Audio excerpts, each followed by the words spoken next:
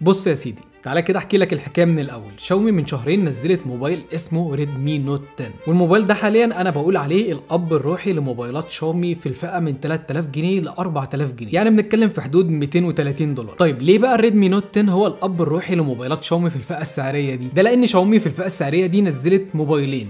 الموبايلين دول من نفس السلسلة وفي نفس الفئة السعرية والتشابهات بينهم وبين ال Redmi Note 10 أكتر بكتير جدا من الاختلافات. وعلشان نحدد بالظبط موقع الموبايلين دول من المنافسة فين ومدى قوتهم هنقارنهم بالنسخة الأساسية ال Redmi Note 10 ونشوف كل واحد موقعه منها عامل إزاي. والموبايلين دول هما Redmi Note 10S و Redmi Note 10 5G بس خليني أقول لك في بداية الفيديو إن في أوقات كده بيكون في sponsor قريب لقلبك. وده لأن ال sponsor اللي أنا هتكلم عنه واكيد كلكم عارفينه.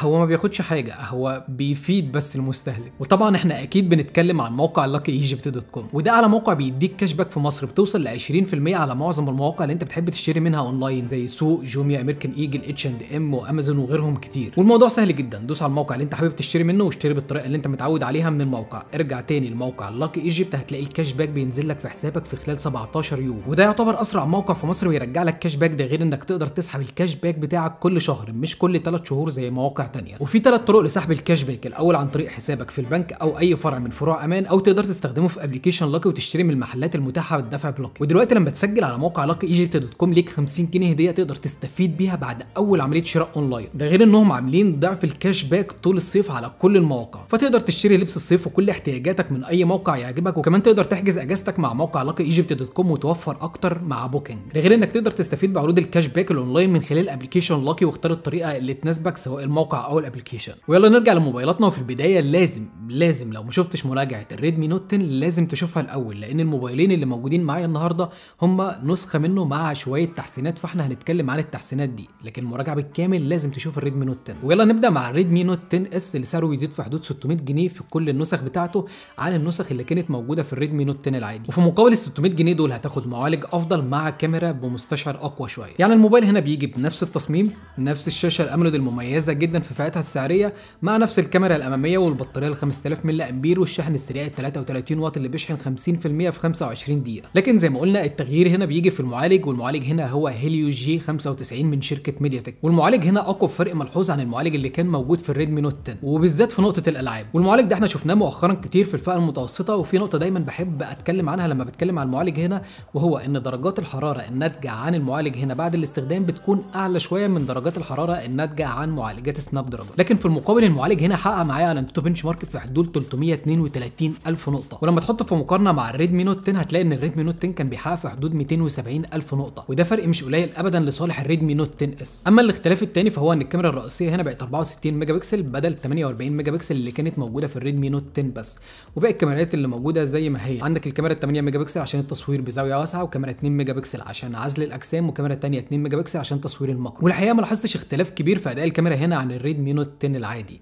يمكن بس الاختلاف اللي هنا فيه شوية تفاصيل أزيد في الإضاءة القوية مش أكتر من كده. فدول النقطتين اللي لو حبيت تاخدهم هتدفع في حدود 600 جنيه أزيد عن ال Redmi Note 10 وتعالوا نروح لل Redmi Note 10 5G أسعار الموبايل دلوقتي هتظهر قدامك على الشاشة. والميزة الرئيسية في الموبايل هنا إن هو أرخص موبايل موجود في السوق المصري بيدعم 5G وبصوا أنا عندي اقتناع الاقتناع ده بقوله في كل مراجعات الموبايلات اللي بتكون نازلة 5G في الفئة المتوسطة وهو إن تقنية ال 5G غالية.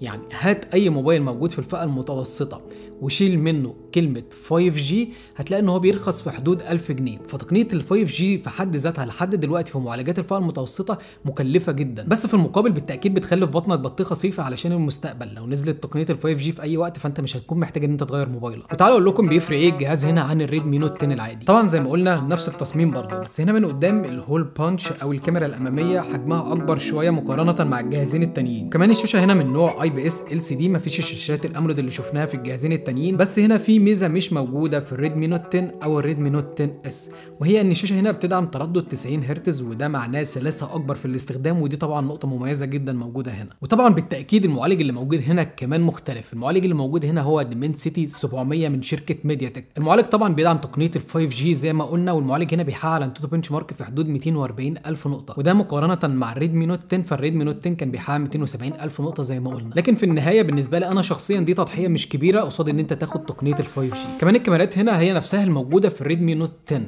بس في كاميرا اتشالت. يعني هنا في ثلاث كاميرات بس مش أربع كاميرات. الكاميرا اللي ما بقتش موجودة هي الكاميرا ال 8 ميجا بكسل المسؤولة عن التصوير بزاوية واسعة. أما البطارية فزي ما هي 5000 ملي أمبير. بس اللي اختلف هنا إن سرعة الشحن هنا بقت أقل بقت 18 واط بس بدل ال 33 واط الموجودين في الجهازين التانيين. باختصار كده الجهاز هنا موجه للناس اللي مش هيفرق معاها فكرة الشاشة ال AMOLED ومش هيفرق معاها كاميرا التصوير بزاوية واسعة. بس عايزة تاخد تقنية ال 5G عشان لما تتوفر في السوق المصري وقتها تكون حاطة في بطنها بطيخة صيفي وما تكونش قلقانة من فكرة إن هي هتغير الجهاز في الوقت ده. رأيي النهائي في الجهازين دول ان رغم إن الجهازين ما قدموش طفرات وشاومي حتى ما كانتش بتستهدف إن هي تقدم طفرات بس في نفس الوقت عملوا حاجة لذيذة جدا بالنسبة للمستهلك وهو إن الفئة السعرية من 3000 جنيه ل 4000 جنيه بقيت كل ما تمشي فيها وتزود 100 جنيه بس تلاقي موبايل من موبايلات شاومي موجود.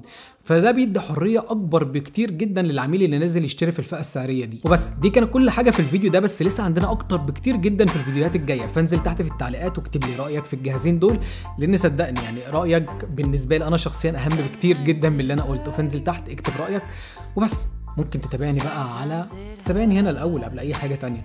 اعمل اشتراك like للفيديو لو عجبك.